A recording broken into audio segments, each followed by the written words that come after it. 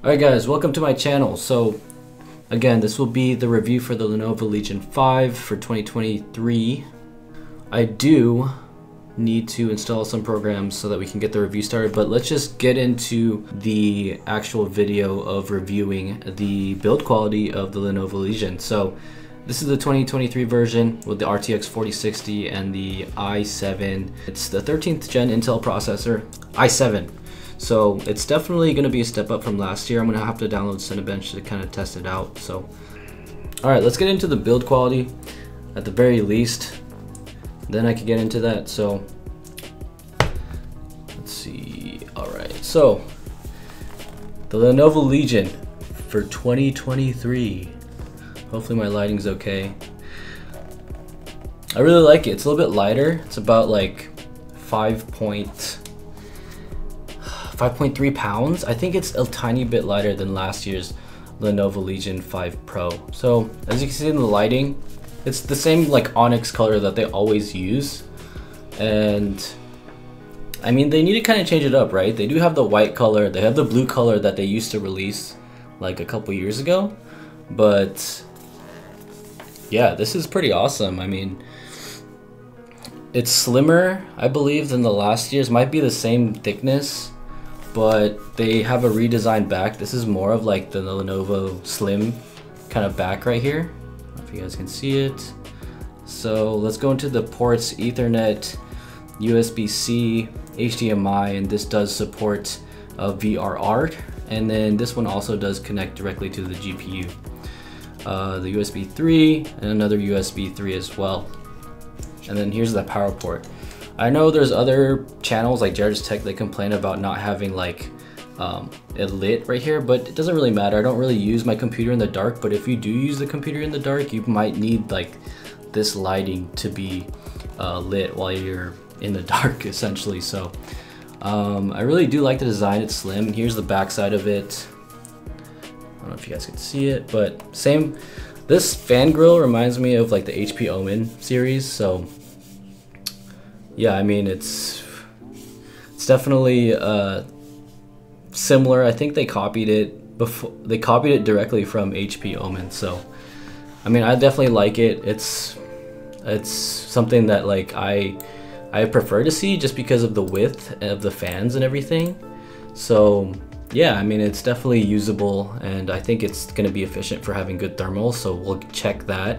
Let's see how the thermals will look like after this. Let's go into, oh, I do like the feet as well. The feet is pretty awesome. And, you know, it's really thick feet, so it's gonna give it a little bit more of a lift when you're um, using it on a desk. You can see the, the, the lift right there. So it's pretty cool. Definitely like the backside of it, looks promising. Looks like it's gonna have good thermals, just like the HP Omen does typically. Um, and the lid is all metal. This is all like an all metal build. So yeah, I mean it's it's definitely one of the, up there as far as being one of the better build qualities of a gaming laptop. Uh, like compared to the MSI series, MSI series is not nice.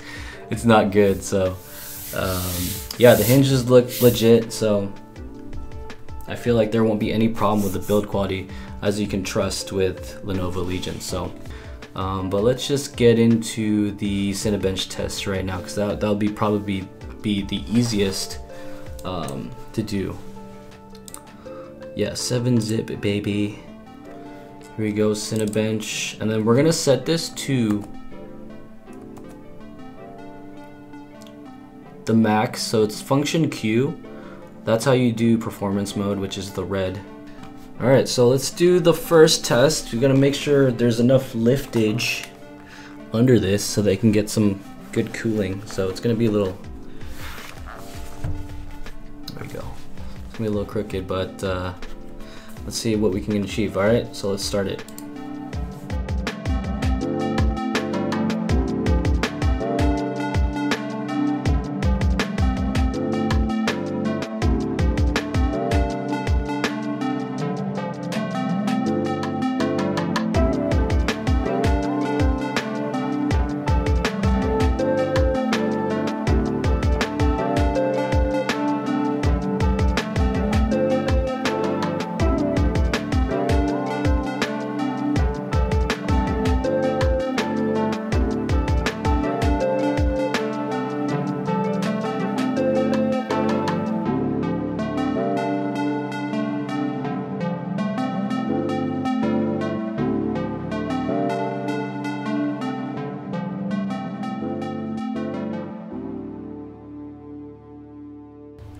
Let's also look at the um, the panel.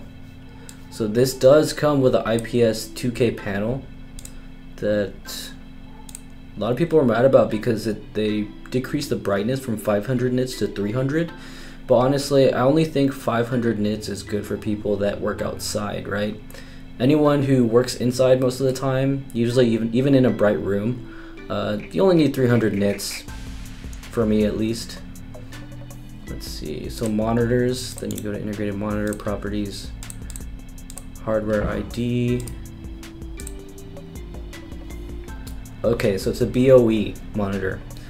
So if we go look that up, so Afterburner is finally installed, but if we go look it up, okay, so it's 98.8 sRGB. You guys can see that. So it's 98.8% sRGB, 73% Adobe RGB, and 71% uh, DCI-P3. So decent. That's pretty standard for gaming laptops. It's not the best, but pretty standard. 10 millisecond response time. And the brightness goes up to 300. Oh, it says 400 nits. Okay, so yeah, like I was saying, 500 nits is what you want if you want to have direct sunlight right on the computer. Okay, 300 nits is fine for indoor usage, and I'm okay with the Legion so far uh, indoors. So decent monitor has G-Sync. So again, thank you for anyone tuning in. Glad you guys are part of the BronzTech family on this small community.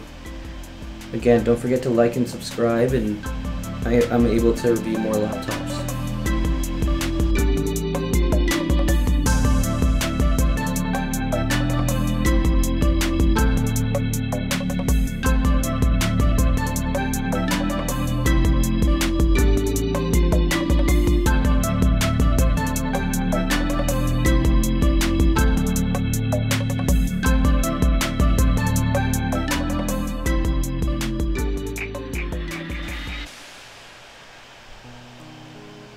So 54 was the loudest on this. That's not the quietest, but definitely not the loudest. It's like middle of the pack. Okay, 54 was the max we got in our decibels, so pretty good for a for a Legion laptop. I believe like the last last time or the last year's version was like 56. So I'm impressed. I think it's an upgrade this year. The keyboard's better too as well. It's more it's less like rattly than last year's. It's more sturdy and I do like the texture on the keys. So overall, I'm impressed and I, I would vouch for getting this if you can get it for like 1200 for sure, just snap it up. Almost 1100 points. So the graphics score was 10,387 10,387 points. 10,387. CPU was bonkers 15,937. Now I know that you can get some higher end laptops this year. The higher end laptops really kind of just set the, itself apart from the rest um, due to its performance, but you're gonna have to pay double. I think the, this this price range of laptops for sure, definitely worth it. A good step up from last year, I think.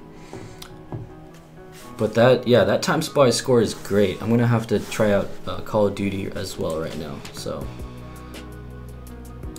wow, look at that, guys. 10,387. That's pretty much almost as much as my RT, my fully powered desktop RTX 3070. And that CPU score is ridiculous. I don't even know if that's right. I've never seen a score that high. So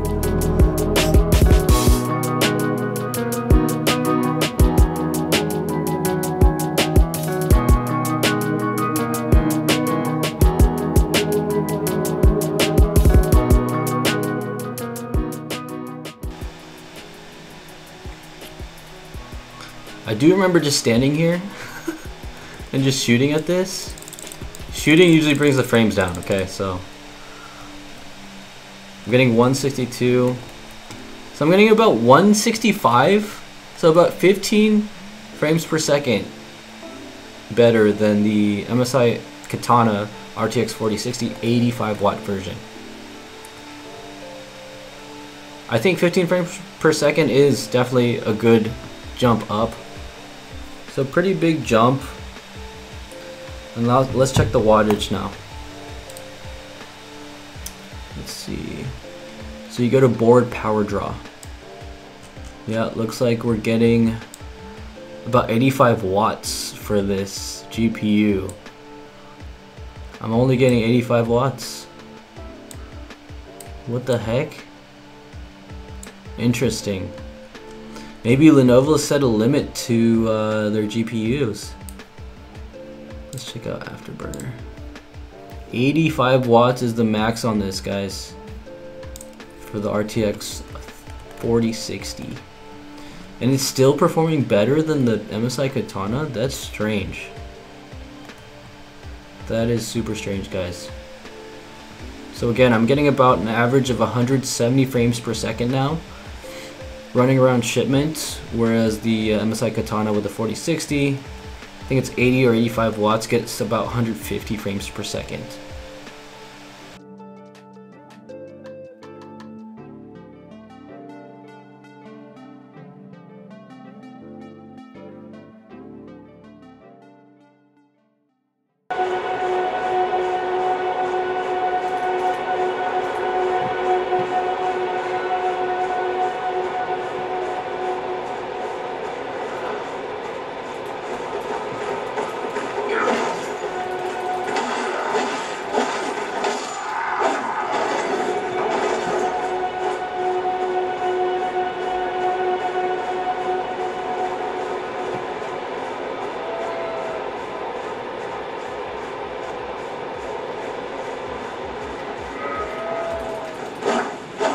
Interesting. Okay.